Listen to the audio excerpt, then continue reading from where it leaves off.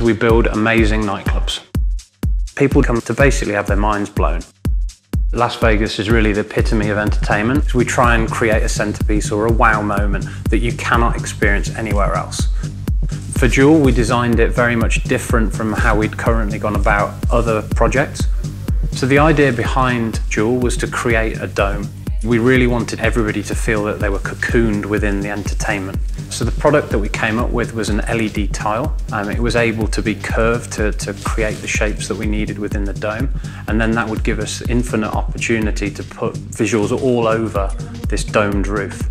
So another unique technical feature at Jewel was a first of its kind. It was a specific unit or fixture. On one side an LED screen and on the other side was what we call an effect light, which is a beam pattern. When you couple that with the programming we've developed specifically for it, you come up with an amazing eye-catching piece. Whatever you're building has to be something unique and it has to be something that nobody else has seen before. At Omnia we did that with the chandelier. £22,000 worth of equipment that can basically manipulate eight concentric rings up and down at speeds of three feet per second.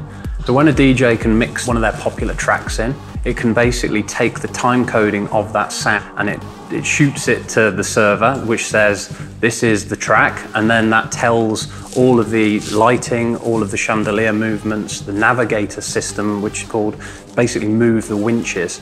Everything can be done off that one single file on their computer. To coin uh, one of our resident DJs, Calvin Harris, he said when he walks into our clubs, they're visually arousing. And you know, I, I don't think you can really put it any better.